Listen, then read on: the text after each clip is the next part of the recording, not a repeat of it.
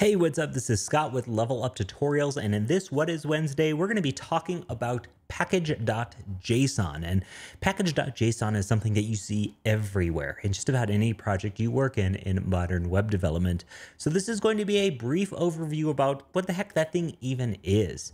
We all kind of know it if we worked in it all, and if you're brand new to web development and you've encountered this thing in your projects, well, this is going to give you a good baseline idea of what it's useful for.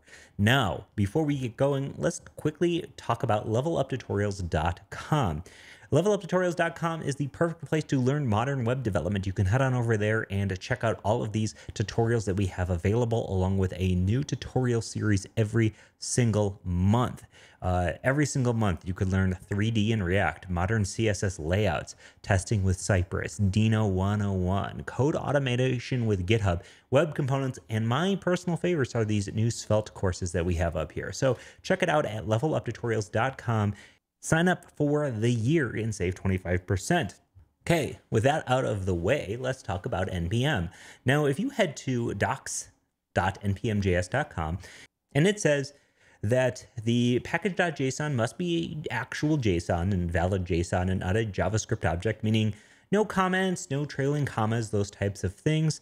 But it doesn't really tell you anything about what the heck it is. This, this is, hey, this is a document. It has your stuff in a JSON file. Here's what's in it. But what the package.json is, is essentially the the it's the source of truth for your package along with its dependencies. It describes all of the different types of external libraries that you might use in a given project, but it also describes some things about the project, the project's name, its version, its authors, its GitHub location. In fact, you can see here that some of the key properties that you need um, is it, it needs a name and the name must be less than 214 characters. I didn't know it could get that high. That's pretty sweet. Uh, but it's it's usually uh, typically it's a short short name, and sometimes it includes the scope of things as well. For instance, um, if we head over to the level up tutorials package.json and let's look at our Svelte UI, you can see that some of these packages have a name like at level up tuts svelte toy. That's defined if we where the package name for this project is just level up tutorials, you can see here that many other projects do use something to prefix it to scope it to a specific name, and it would be done there in the name. So it gives the name of a project.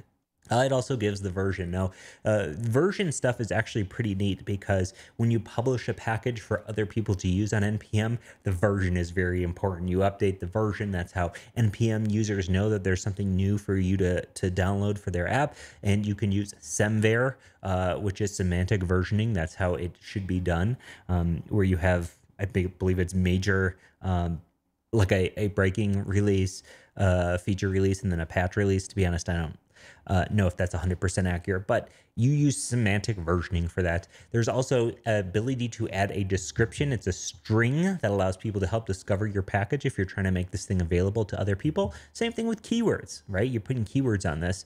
It also allows you to set a home page, maybe the location to where bugs are living if it's not GitHub, the license that you have for this project, whether or not people know what they can do with this project, whether or not they can uh, fork it, use it their own, make it their own or not. It also adds you, allows you to add authors to this, um, maybe even funding stuff. It's a lot of neat things. So, without getting too much into the weeds here, the package.json is a file at the root of your project that tells all sorts of tools about what your project is, what it's about, what it includes, and all that and more. Now, it's often described as the manifest for your project, as in this is the key list of all of the most important things in your project. What's funny is that I, I you know, I'm, I'm not great with words. So when I went looking for manifest to to figure out how that definition plays into it, I believe the only definition I could find that was that was um, that it related to that was about how the manifest is a list of passengers or an invoice of cargo on a vehicle. So I would assume that the word manifest to describe like a project manifest in programming comes from that. There's also like a manifest.json file too. So I don't know if the origins for the word manifest used in that manner uh, relate to that, but it does make sense. This is a list of all of the things in your project, whether that is third party libraries and dependencies, the license, the name. It's all of the information and data about your project so that various tools, whether it is your continuous deployment and integration setup, your testing, your scripts that run, those things all know what to do or where to go. Now, another neat thing that I would have to talk about before we um, get off this is that you can have scripts inside of NPM now, another thing that I wanted to touch on before we wrap this up is that you can have scripts inside of a package.json and you'll see these a lot so beyond um, you know all of your normal configuration your info you can also have scripts in here that can be run via things like npm run or just yarn blank to run these things and these are very commonly used inside of applications. So the things that people are probably most familiar with inside of package.json would be your dependencies. These are your third-party libraries, your dev dependencies, which are, again, third-party libraries, but for development. Um, name, but scripts, again, is a huge one where you would run npm run build.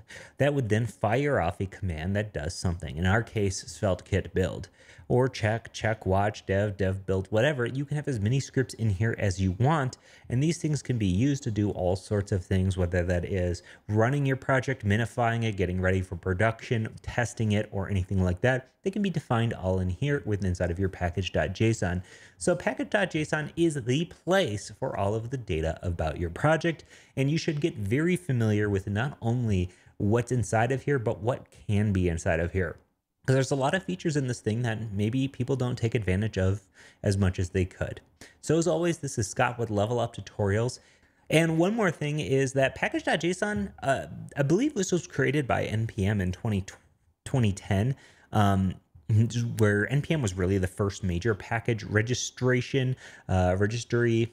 So package.json really started out as a way for you to be able to describe your projects and list dependencies to work well with NPM, but it now is basically ubiquitous across all tools all package managers and anything that you're working with inside of a node project.